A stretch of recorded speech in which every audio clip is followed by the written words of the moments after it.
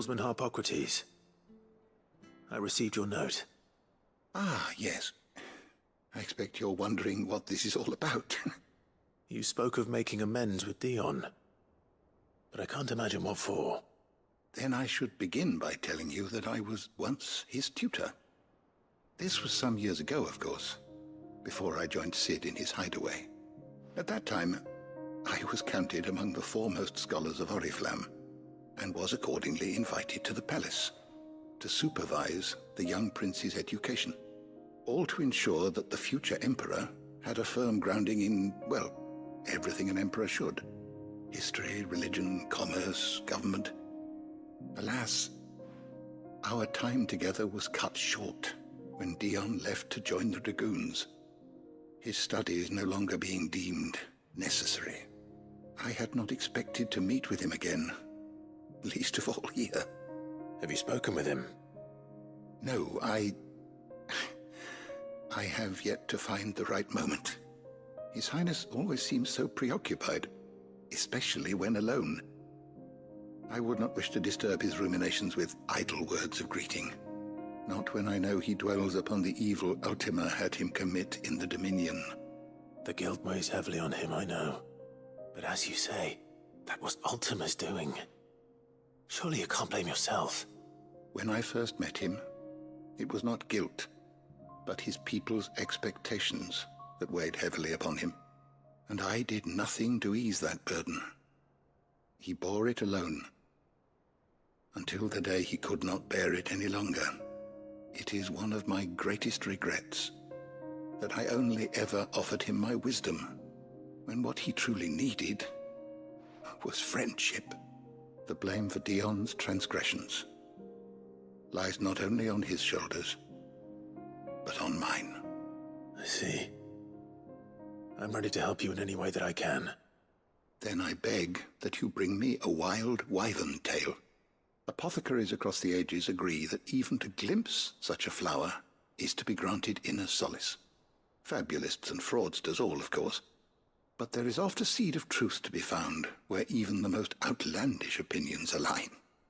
Well, it can't hurt to try. Where can I find this flower? And how will I know it?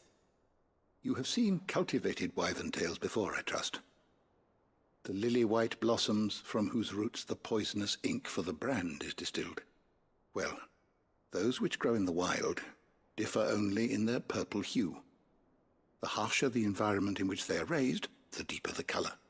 There is a waterfall in Rickmal's roost across the strait, where the flowers once grew in abundance. Whether they still survive there, I know not. But try as I might, I can find no likelier location. It's all right. I'll find you a wyvern tail one way or another. Thank you, Clive. And please, be safe.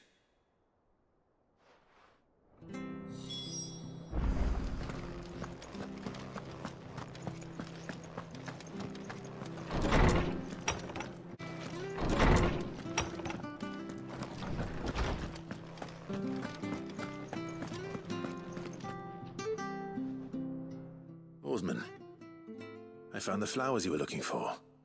You did? I think I did.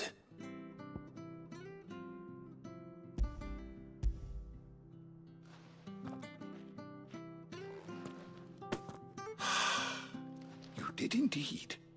My dear boy, thank you. You wanted to make Dion a gift of one, did you not?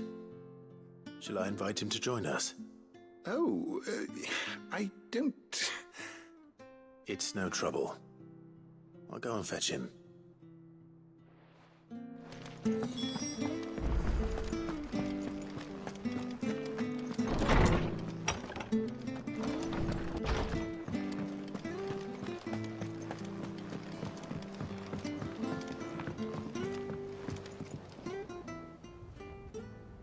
Your Highness, would you do me the honor of accompanying me? Now. It is time, then. No, only to the shelves. Our lawsman has something he'd like to give you. Master Harpocrates. No. I dare not show my face before him. Not after everything I have done. I have taken countless innocent lives. And ruined countless more. All because I was weak. I have sworn to atone for my crimes or die in the attempt. But were I to meet with him again, and see in his eyes what I have become, I fear that my resolve might falter. Then that is all the more reason to do it. Test your resolve.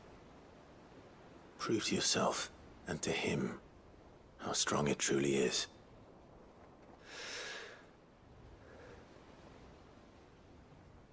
You are right. I must, at the very least, offer him my gratitude. Very well, then. Take me to him. Follow me.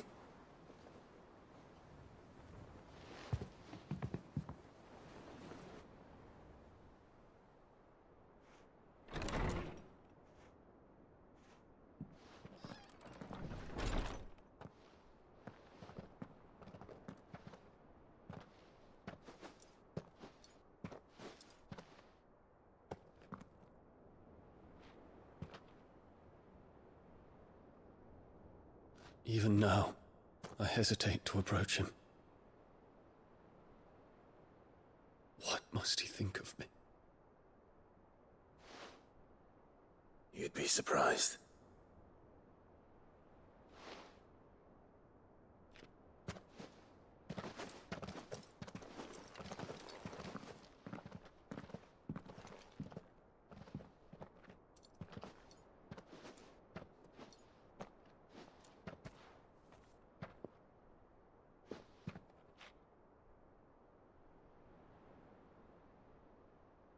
Master Harpocrates, pray.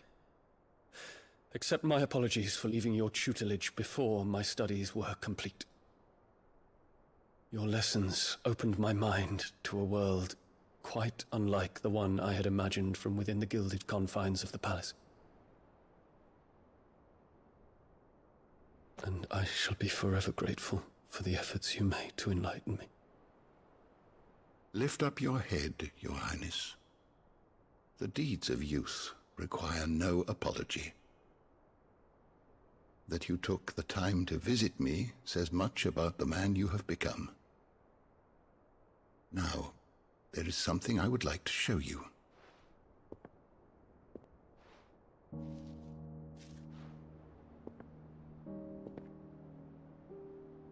Is that a wyvern tail? The color is unfamiliar to me. Because it is unique to those found in the wild. Something in the harsh environments in which they grow lends them this striking hue. Their roots are indistinguishable from those of their hothouse cousins, but once they bloom, the difference is immediately apparent. In this flower, I see you, Your Highness. Its roots were the roots of a wyvern tail, with all that implies. But they do not define it, just as yours do not define you. I want you to have it, that it might remind you of this truth.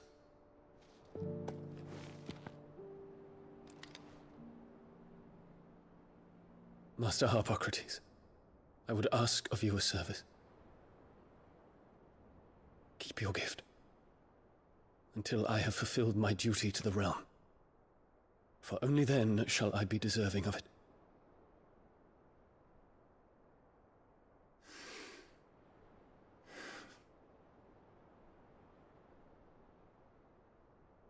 As you wish, Your Highness. I shall await your return.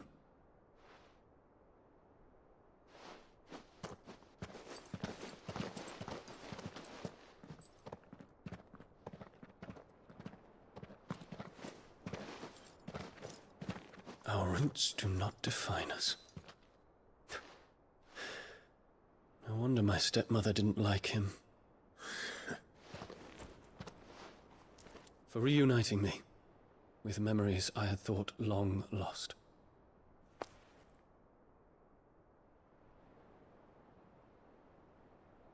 I shall not forget this.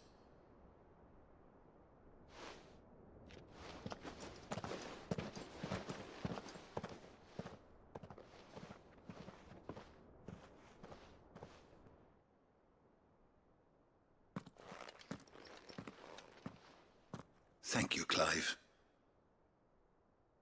Not for you, I fear I might never have found the right moment to speak with him. Not to mention the Wyvern tails. I shall plant their seeds, that I might not disappoint His Highness upon his return. I hope the soil in the hideaway is to their liking. Why, these flowers bloomed in the bleak, black wastes of Waloed. I'm sure Nigel's yard will suit them to a T.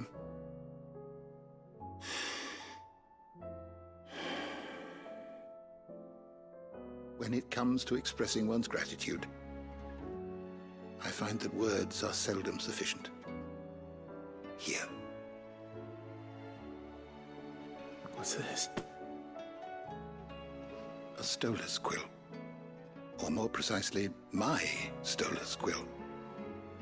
It is said that an owl's feathers are steeped in the wishes it hears over its long lifetime.